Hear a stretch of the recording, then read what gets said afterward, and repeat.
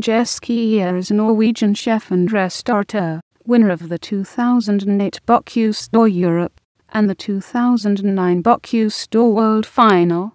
Skeie runs two restaurants, both called Brygga 11, in Sandefjord and Leirvik.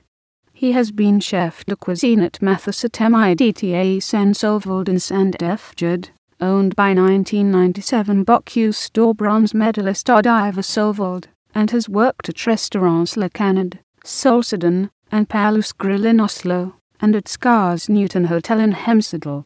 Skeie made the decision to pursue the Bocuse d'Or in 1993 when watching Bent Stiansen appear in the television program of Ingrid Espelid Hovig, having become the first Norwegian to win the contest, and subsequently worked towards this goal for 15 years spending the last two years perfecting the winning recipe.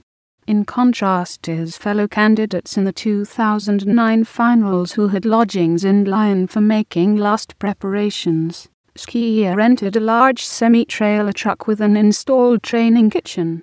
He was coached by previous bronze Bocuse d'Or medalist Odd Ivar Solvold, and then assisted by Commis Adrian L. Tilda having used Atilda Jan Johannessen as when he won the 2008 Bocuse d'Or Europe. After the contest, Skeie stated he was 90% satisfied with his performance. The gold medal was won with a score of 10-20 points, a comfortable margin over Swedish silver medalist Jonas Lundgren, who scored 994 points.